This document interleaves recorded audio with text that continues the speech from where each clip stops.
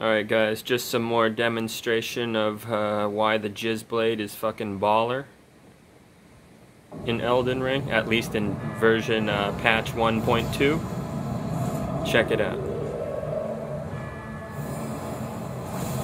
Look at that shit, it fucking took like over half his health, what the fuck? Oh my god, he's in trouble, dude. What the fuck? Watch this, this is funny shit. fucking fucking drop that concrete on his fucking foot, dude. Fuck yeah, man. Yeah, uh, this is the best weapon in the game, actually. Probably that, that big piece of fucking rock. Honestly, in a way, it, it is kind of the best weapon in the fucking game.